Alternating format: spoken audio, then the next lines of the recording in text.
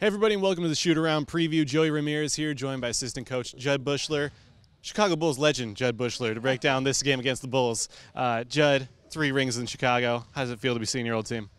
It's always great. I mean, those were four great years of my life. I went there, uh, got to Chicago. I left with three championship rings and two beautiful daughters. So that was a real, real special time. Michael Jordan is very appreciative that you, you delivered him those rings. Um, I'm very appreciative of him, actually. But uh, no, great team, great time, and obviously lots, lots of great memories. Taking a look at your current team, Jud. uh, Lonzo Ball obviously coming off a triple double effort. His 16 rebounds were the most by a rookie guard in 17 years. What is he doing well, and, and how do you get him involved in, in the offense? I think just as a staff, um, especially Brian Shaw pointed out to him, and Brian's been working with him a lot, that he's just way more engaged when he gets the defensive rebound. And when he gets that board, he's an excellent rebounder at his size. Um, he gets in there, he gets the board. He can just push it down the floor really quickly for us, and it creates great pace and great energy for our team. So, 16 rebounds is a ton of rebounds. He did a great job with that.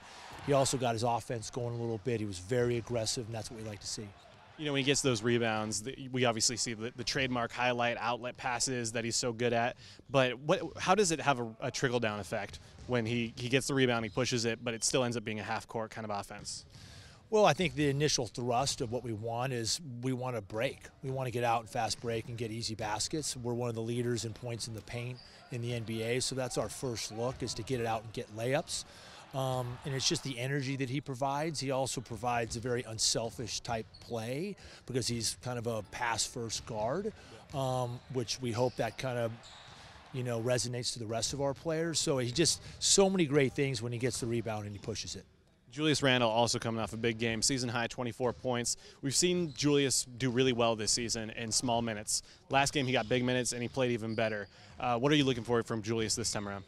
Just to continue with his play. He's been fantastic. You know, um, obviously it was a, he's moved to the second unit, um, but he's really taking control of that and taking pride in that. It looks like, and he's coming off a fantastic game, um, last game against Denver, and hopefully he can just continue to. Um, play with that type of energy out there. When he's engaged in going 100% all the time, he's really difficult to stop. Taking a look at your former squad, Jud, uh, Lauri Markkanen is kind of the, the headliner here. He's a rookie. He's seven feet tall, but he, he's lighting it up uh, from beyond the arc. Gets a few rebounds in there too. What, what impresses you most about Markkanen? Well, I, I, I, love him because he's uh, he's an Arizona Wildcat. First of all, he's one of us, but he's he's having a great year. He's been given the opportunity. He's a main focus for us tonight. Um, he had 25, I think, points around there and, and 11 rebounds against uh, in his last game against Phoenix. So he's scoring a lot. He's on the perimeter a lot. Very, very good shooter. We have to be aware where he is at all times tonight. What do you tell your centers and, and your power forwards about closing out on a guy like that who's seven feet tall and, and can just hit a stroke from there? It's tough because it, obviously he plays away from the basket, and our bigs aren't used to being that far out. But we have to close to him. We have to close to him fast. Obviously, kind of making him a runoff, which means do not let him get the three-point shot up. Force him into drive mode. We'll see how our bigs can handle that tonight. Also, in uh, among the Chicago front court is Robin Lopez. We're going to throw it to our special correspondent for a little breakdown on Robin Lopez. Thanks, guys. Yeah. Um, so for our scout for the Bulls, you know, we looked at it and pretty much when we realized going down the depth charts for each team, uh, there's a, a, dearth, you know, at the starting center position, just this big black hole for the Chicago Bulls. And, you know, defensively, I feel like we can help a lot. We can trap the other guys, being that we're only guarding four guys on the court pretty much whenever that guy's in the game.